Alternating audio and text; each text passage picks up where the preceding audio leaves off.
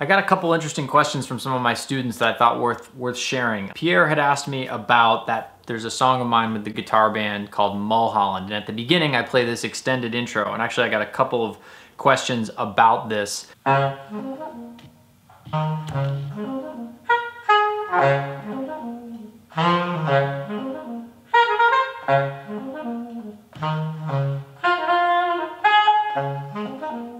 the first one was from Brian and it was about what am I thinking of when I do that. Now let me just say for starters that uh, I consider myself barely competent at doing such things. You know, the people who are great at it, Sonny Rollins, Joshua Redman, Chris Potter, to name a few. Playing a cappella introductions or cadenzas is like, it's a tough thing. And so I, what I do is I try to baby step my way towards feeling more confident about it by by practicing it on gigs. So like within a set or two sets, there might be a tune that I identify as like, you know what, I'll do it before that or I'll do it at the end of that or something. Just a little bit to get comfortable with it. Um, I used to be extremely terrified by it. I'm a little bit better these days, but um, I just try to set up something. So the first part of it is that I try to set up something with Mulholland. If you go watch that video, you'll see I just had a fragment, an idea, and that was it. Um, and uh, I kind of work with that. And my main thing is just keeping the time. So I'm trying to pretend that the band is still playing with me, even though they're not. That's the goal. And keeping that, if, the more I have like an ostinato going in my head, then that's my anchor. And then I can move away from that. So at a certain point, I'm like, all right, been here long enough. And in that Mulholland video, I stay there way too long, uh, but whatever. It's live, it happened, there it is. Uh, but then I moved to, I think I moved up a minor third or something. So I'm just, that's a thing where I'm like, what if I move this up a minor third? You know, one thing you can do to practice things like that is experiment with playing a short fragment of something repetitively over and over. And then, um, and this leads to the second part of the question, and then start to move it in your mind before you move your fingers, if that makes sense. So actually I was doing this last night. I was playing a really repetitive figure.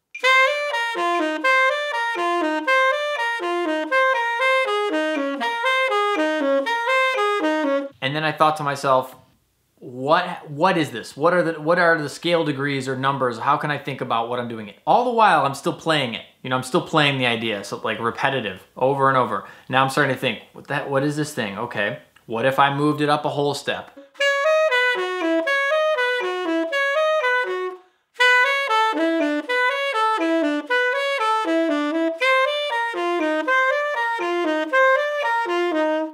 Would that be? What would that sound like? Okay, so this leads to Pierre's question, which is how do you practice stuff like that? Well, that's it. What I'm saying right now is kind of how I practice it. By playing something uh, very repetitive, and once you're locked in, it's like, I think of it as sort of, um, it's like RAM, like computer RAM or something. You're trying to slowly offload some of the thought process to your RAM so that you can free up brain power CPU power to something else, such as where am I going to go next, or what's around the next corner, where would I like to take this? But you can't do it if you're thinking, you know, actively thinking through it. So I hope that makes some sense, you know. So I'm like doing this boom, ba da boom, ba da da boom, ba da right, over and over. Um, and now I'm thinking in my head, like, where, what if I went to another place? So by practicing that beforehand, by practicing that figure, in all sorts of different directions, chromatically, in whole steps, in minor thirds, in the circle of fourths and fifths, those kinds of things, then I've already got, you know, I know I can go to those places and I've sort of been there before. It frees me up to be creative in the moment with making that decision sort of spontaneously, if that makes sense. Um, but my best way, so Pierre says, um, I love that Mulholland piece. Your solo and intro are just fantastic. How do you practice such a thing? Such as hearing in your mind something precise while you go far away, playing other stuff without getting lost in time, without losing the place where you are. Um, do you have a stereo brain? Is one part of your brain playing something and the other part is hearing something else? That's, that's kind of what I'm, in a, in a sense, that's what I'm saying. That's how I practice it is that way. You do have to, you have to practice developing, I like that phrase, a stereo brain. That's kind of what you need to do. Last year at the, um, at the Inside Outside retreat, at the saxophone retreat, uh, Josh Redman and I were, well, he was doing a, he was doing a, a, clinic, but then we ended up playing together on stage and we, were, we just did some duets.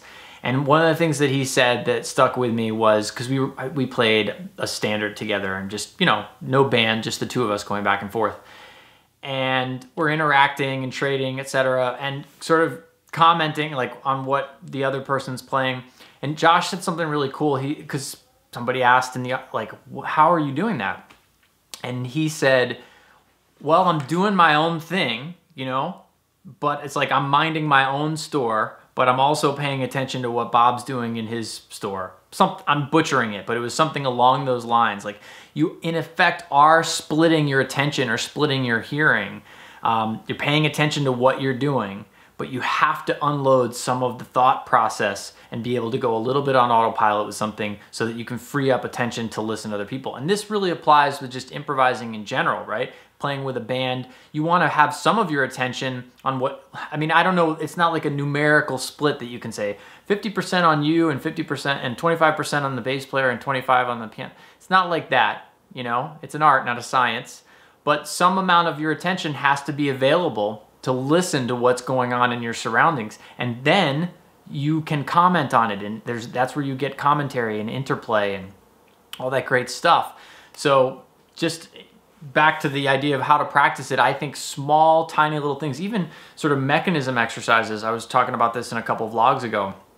Short, repetitive things that you can play over and over and over. You want to be careful that your brain doesn't just wander, you know, aimlessly. But you start to practice freeing up brain power to go in another direction. Uh, it's, it's really helpful.